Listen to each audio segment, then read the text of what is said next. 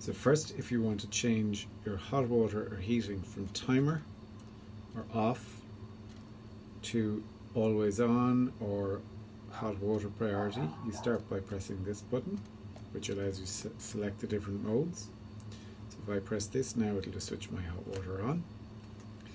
You can toggle through hot water has priority, it's off, or it's on a timer, and the same with heating. You can also see the consumed energy here by selecting through here, and you can see consumed electrical energy, and you can see that amount per month. So once you select your hot water on timer or always on, you can hear my heating switching on and off as I toggle through these. Um, once you have timer, you need to make sure you have a timer circuit or a timer set for your hot water heating or else it won't time on.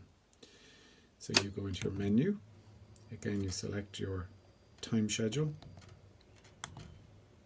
into your schedule timer for the winter, into your hot water, and in this case I have it set Monday to Sunday, apart from Saturday, to come on at 5 in the morning. So I'm going to edit it all of those days.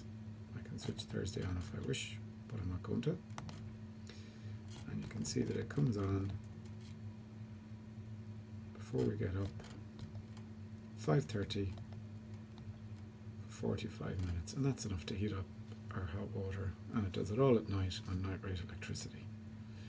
If I want to do it at another time I can change it and I can come out and I can go into the weekend and I can set it to heat it up in the afternoon for the kids bath or so on but I'm not going to do that here I'm just going to leave it as is. You can also do all of that on the MELCloud timer if you wish.